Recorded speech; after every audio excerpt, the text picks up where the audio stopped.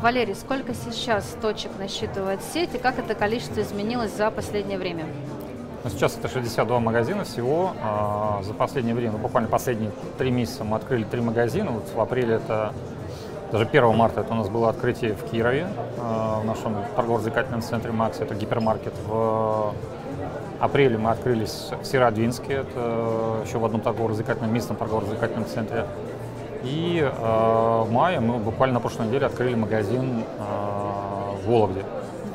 Это офлайн формат. В онлайне мы вот в апреле запустили э, две площадки в Архангельске и Северодвинске, два интернет-магазина. И вот буквально также в мае мы э, запустили проект интернет-магазина в Череповце. А география присутствия пока не изменилась? Нет, мы находимся в своих регионах. Это Архангельская, Вологодская и Кировская области основные вот наши. Ну и Ярославль у нас тоже там попытки развития, мы постепенно идем в этом направлении. Угу. А, вот от касаемо последнего открытия крупного ТРЦ в Кирове, mm вот а, у нас очень много-много уже лет говорят про то, что гипермаркет все, но гипермаркет не все и даже развивается. Как вы оцените это открытие? В целом совпали ли ожидания с реальностью? Ну, мы в первую очередь, э, когда эту площадку рассматривали, мы ее формировали под развитие девелоперского бизнеса. Там, напомню, там сейчас 55 тысяч квадратных метров торговой недвижимости, открыт торговый центр. Торгово-развлекательный центр с таким уникальным наполнением. И, наверное, открытие гипермаркета это было такое, ну, естественное решение с точки зрения там, собственного бизнеса, в котором э, таких примеров у нас уже несколько. То есть там тот же Череповцы и в других городах, где есть в Архангельске, э, в структуре торгового центра открыт наш гипермаркет. Здесь таким же путем мы шли. А, как раз получая такой синергетический эффект от состава арендаторов, от того трафика, который приходит в торгово-развлекательный центр, который, в общем-то, также соприкасается с нашим предложением. Ну, говорить про эффект, наверное, пока рано, потому что буквально с открытия, с 1 марта, там несколько три месяцев прошло, и идет постепенное наполнение центра, узнаваемость покупателей, ну и так привычка формируется. Поэтому пока, да, мы видим, видим растущий трафик, но он пока еще, скажем, не тот, который мы планируем там получить дальше. А вы уже упомянули про онлайн-формат. А как сейчас после пандемии продолжается его развитие? Насколько стало сложнее и насколько в целом народ в регионе, учитывая, что вы выходите и в небольшие города в том числе, ну, Северодвинск все-таки это небольшой город, мне кажется. 200 тысяч. Да.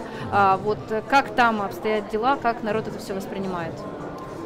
А, ну, наверное, после пандемии вот такая популярность онлайна, она подстихла, скажем, стало более спокойное отношение покупателей, но там, та же активность, которую мы видели там, в период, она сохраняется.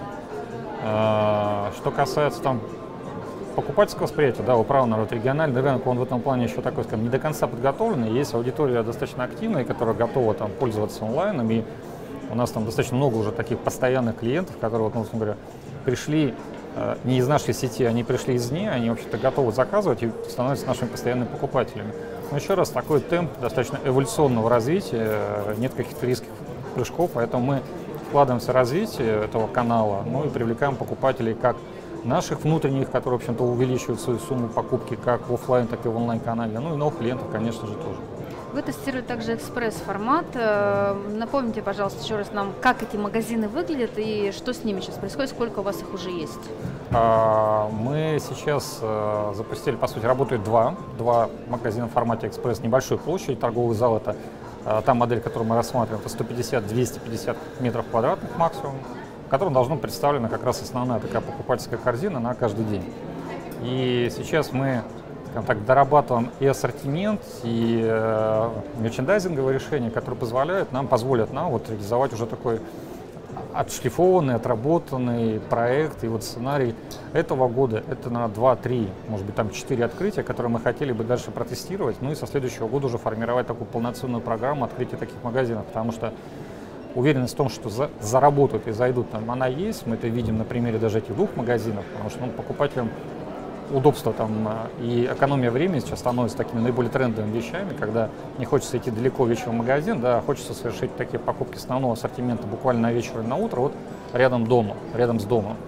И мы хотим эту возможность предоставить, формируя тот ассортимент, который вот обеспечивают эти потребности. А вы локации рассматриваете в жилых районах или наоборот в местах, где вот трафик какой-то mm. там, центр города, что-то еще? А слушайте, вот мы и те, и те локации рассматриваем, и при этом понимаем, что ассортимент под каждую локацию, будь то действительно это трафиковая какая-то центральная локация или там жилой массив, они должны там самостоятельно отличаться друг от друга, да, то есть если э, где-то офисная часть, где достаточно большой жилой трафик, это там побольше позиций to go, то ближе к дому это может быть там, да, не нужно тугоу, не нужно, может быть, даже кофе Молочко, горячее. яички, да. да. То есть, да, вот такие совершенно верно, простые, нужные вещи, которые там вот на каждый день. Поэтому будем адаптировать и с учетом локации тот ассортимент, который будет востребован именно здесь. А, Касаемо присутствия вот вашего здесь на неделе российского ритейла, здесь очень много говорят, в том числе про устойчивое развитие, про а, м, устойчивую упаковку, то есть такие тоже тренды последнего времени. Вы как э, компания, которая в том числе STM очень много Мгм. производит, как в целом вы вот эм, к этим требованиям времени рассматриваете, нас- э, относитесь, точнее, насколько они сейчас оправданы, насколько это экономически вообще выгодно в такие вещи вкладываться? Как вы на это смотрите?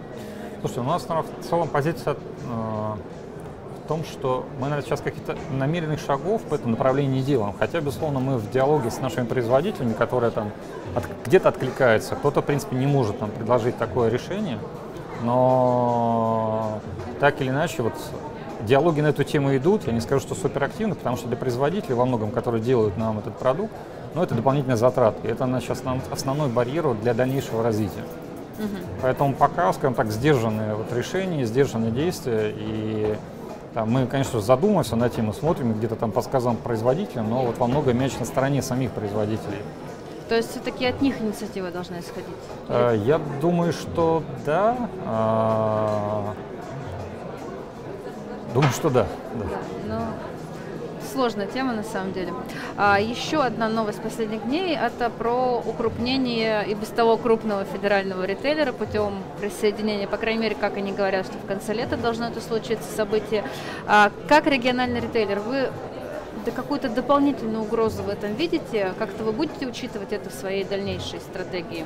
Может быть, что-то уже делаете? Мгм.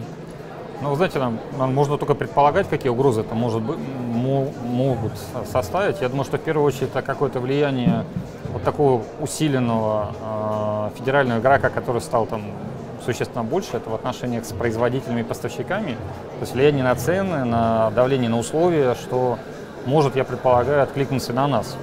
Потому что производитель, который там где-то двигается в пользу там, федеральных сетей, э, начинает компенсировать свои там потери либо убытки за счет там региональных игроков, федеральных игроков.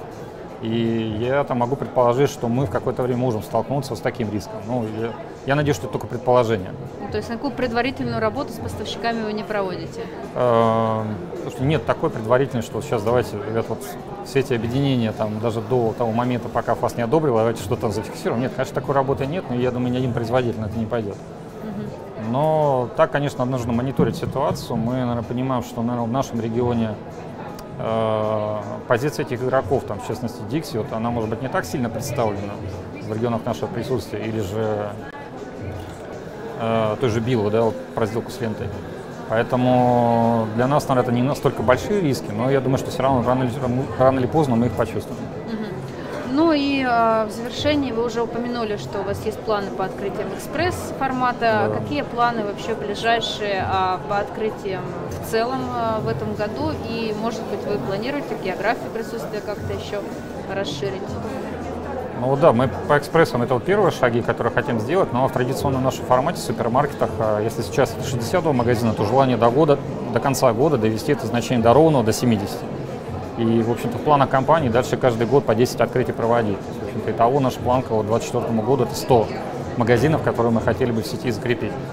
А, Все-таки основные вот открытия, усилия, они направлены в первую очередь там уже знакомые для нас регионах. Это Ярославская область, Кировская область, Архангельская, Вологодская. И именно здесь там ищем вот для себя площадки для открытий. И, в общем-то, готовы рассматривать любые форматы. Там это и маленькие супермаркеты у дома до 500 метров, ну и форматы там, до 1200 метров квадратных такой площади. И, в общем-то, в этом году, как сказал, уже вот это желание порядка там 7-8 открытий обязательно сделать. Спасибо большое, что вы нашли время к нам сюда прийти. Да, спасибо вам.